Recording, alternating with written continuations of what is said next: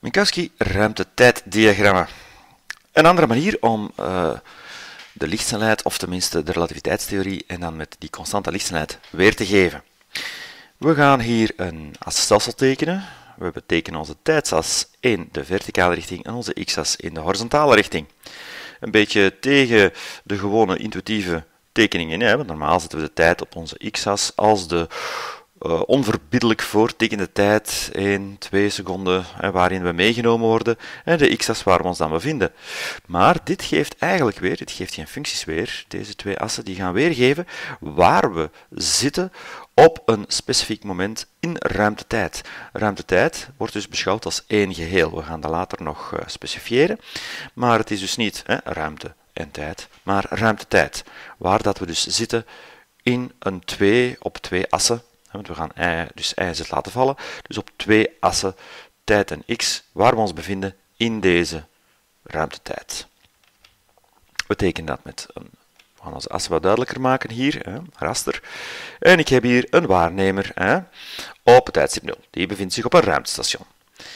En die bevindt zich na 4 seconden nog altijd op dat ruimtestation. De ruimtestation beweegt niet. We gaan dus uh, dit als een stilstaande waarnemer beschouwen. En dus na 4 seconden is hij in de ruimtetijd bewogen naar dit punt. Na 4 seconden bevindt hij zich hier. Dus dat is wel ergens anders, maar dan in de tijd. En hij vuurt een uh, laserlichtje af of zo. En dat laserlichtje, ja, dat beweegt ook doorheen de ruimtetijd als de tijd verloopt. En dat gaan we weergeven met deze. dus na 1 seconde is die op 3 x 10 tot de 8 Na 2 seconden op 6 x 10 tot de 8 meter en zo verder. Kunnen we dat hier zo voorstellen. Maar we hebben dan ook nog een ruimteschip. En dat ruimteschip dat komt voorbij gevlogen. Op tijdstip 0 is dat ter hoogte van onze stilstaande waarnemer.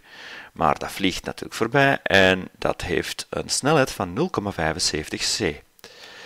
Dus de lichtsnelheid maal 0,75, dat wil zeggen dat hij na 4 seconden op 9 x 10 tot de 8 meter is. Goed, de volgende. We hebben hier weer onze assen, hier onze stilstaande waarnemer weer, en hier is onze lichtlijn, zoals we zullen zeggen. Hm? En hier is onze ruimteschip, dat op het tijdstip 0 op dezelfde positie zit. En we kunnen dus die lijn dat die volgt eigenlijk weergeven met de t-accent-as. T-accent, waarom? Omdat dus ja, hij ook kan beschouwd worden als stil te staan en het een andere beweegt ten opzichte van hem. Dus voor het ruimteschip is deze as zijn tijdsas, die dus verloopt. Nu, dit ruimteschip achtervolgt een ander ruimteschip. Zit erachter. En de ruimteschip beweegt met dezelfde snelheid. Dus de ruimteschip beweegt volgens deze as parallel aan deze. Nu, dat wil zeggen dat na 1 seconde beide ruimteschepen hier zijn. Na 2 seconden daar, na 3 seconden daar, na 4 seconden daar, en zo verder. Altijd ten opzichte van elkaar zijn die ruimteschepen even ver. Ten opzichte van elkaar staan die ruimteschepen eigenlijk stil. Er zouden er nog een hele hoop kunnen zijn. Hè. We kunnen voorstellen dat er een hele hoop ruimteschepen achter elkaar vliegen. Hè. En dan zouden we telkens dat kunnen voorstellen zo.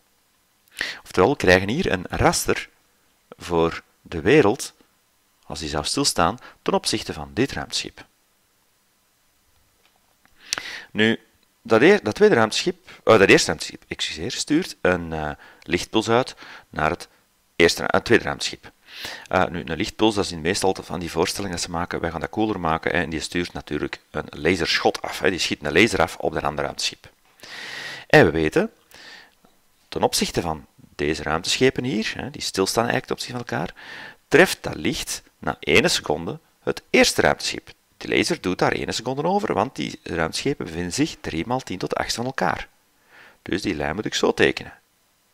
Maar dan klopt er iets niet, want deze lijn is de snelheid van het licht ten opzichte van onze stilstaande waarnemer.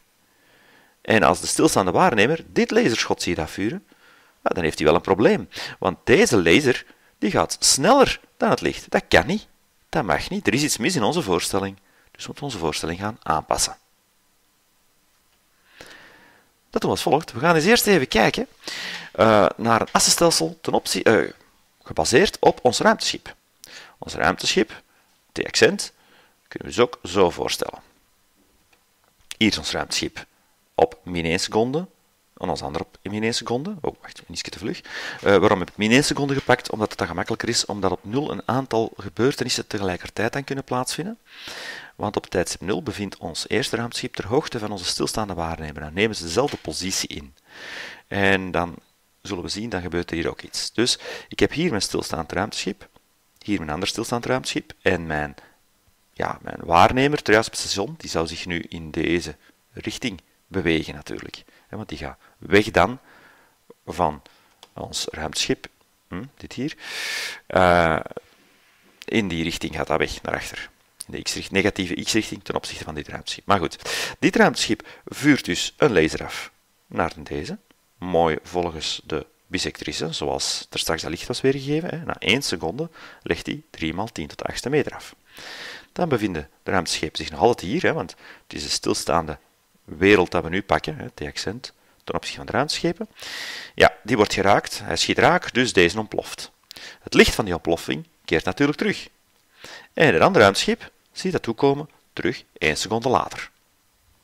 Belangrijk is hier dat we op dit moment een aantal gebeurtenissen voor dit ruimteschip hebben die tegelijkertijd plaatsvinden. Dit ruimteschip is tegelijkertijd op dezelfde hoogte als ons eh, ruimtestation, waar onze waarnemer zit, en tegelijkertijd ontploft dit ruimteschip. Hij ziet dat wel pas hier, maar voor ten opzichte van deze persoon gebeurt dus deze acties gebeuren tegelijk. Dan gaan we dat eens omzetten naar ons eerste assenstelsel voor de stilstaande waarnemer. Hoe dat we dat dan moeten weergeven, dat het dan toch klopt. Hoe dat we dus die twee bewegende voorwerpen, alles wat er gebeurt, toch op één diagramma kunnen weergeven. Dus ik heb hier mijn tijdsas, stilstaande waarnemer en zijn lichtflits. En ik heb hier de as van ons ruimteschipje. Hier is ons ruimteschipje op tijd. Ja, je ziet, we hebben de assen niet ingedeeld, omdat we nu even moeten gaan puzzelen van hoe dat uitkomt. Dus ik heb hier min 1, ons ruimteschip bevindt zich op min 1 hier en hier op 1. Dan, gaan de dan schiet op seconde min 1 schieten deze zijn laser af. En die laser moet parallel getekend worden met deze lijn. Zodat we dus ja, de snelheid van het licht niet overschrijden. Nu, op 1 seconde ziet dit ruimteschip de ontploffing van het tweede ruimteschip. Hij ziet dat dan, maar dat licht is naar hem gekomen met de snelheid van het licht, dus onder een hoek van 45 graden. Dus waar die twee lijnen elkaar kruisen, we weten dat dus daar de ontploffing plaatsvond. Ja, dit licht ging naar het ene ruimteschip, de ontploffing is er en dan gaat dit licht terug. Dus hier moest de ontploffing plaatsvinden. Nu, voor ons accent assenstelsels, assenstelsel, dus die accent, weten we dat die ontploffing plaatsvond op hetzelfde moment als het andere ruimteschip hier was. Dus met andere woorden, weten we dat onze plaatsas, die dus op hetzelfde moment was, zich hier moet doen. Want we weten dat op de plaatsas, als we dat zo zien, dat dan telkens alle gebeurtenissen op hetzelfde moment plaatsvinden. Op hetzelfde moment was het ruimteschip hier en vond ontploffing plaats. Dus mijn x-accentas moet dus wel hier liggen. Dus gaan we onze assen hier anders moeten bekijken. Dus naast het feit dat de tijdsas schuin wordt, gaat ook mijn x-as schuin worden. We zouden dan allemaal, als we dan een raster willen tekenen ten opzichte van deze twee assen, hè, dus tijdsaccent en x-accent, dan zouden we hier zo van die parallele lijnen moeten tekenen, schuin getrokken rasters, even, uh, evenwijdig aan x en evenwijdig aan t.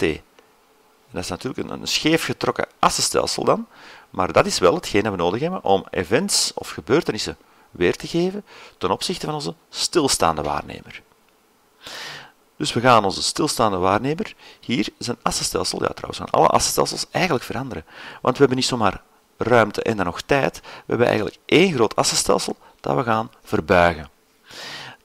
De tijdsas gaan we anders noemen, we gaan, want we zijn eigenlijk in één, over één ding aan het spreken, de tijd die verloopt en de x, posities worden weergegeven hier, ten opzichte van dit. We gaan de tijd vervangen door, een, vreemd genoeg dat mag klinken, door een afstand. We doen onze tijd maal de lichtsnelheid en dan komen we eigenlijk een afstand uit. Je zou bijna een, een lichtmeter kunnen noemen. dus 1 seconde maal 3 tot 10 achtste meter per seconde geeft 3 maal 10 tot de achtste meter. Dus we gaan ook deze as kunnen weergeven in dezelfde eenheid als deze, meter. Je kunt het dan lichtmeter noemen, omdat het nogal vreemd is dat we tijd in meters gaan weergeven. Maar zodat we dit perfect kunnen bespreken. Nu, nog één ding dat belangrijk is. Deze hoek alpha, waarover deze as, uh, deze as moet gedraaid worden, is hetzelfde als deze hoek alpha, waarover deze as draait. Zodat we dus, afhankelijk van hoe snel dat we gaan ten opzichte van een andere waarnemer, als we maar bijvoorbeeld 0,1% gaan of zoiets, dan gaan we deze as zo hebben, en dan gaan we deze x-accent as zo hebben. Goed, dat was het voor deze keer.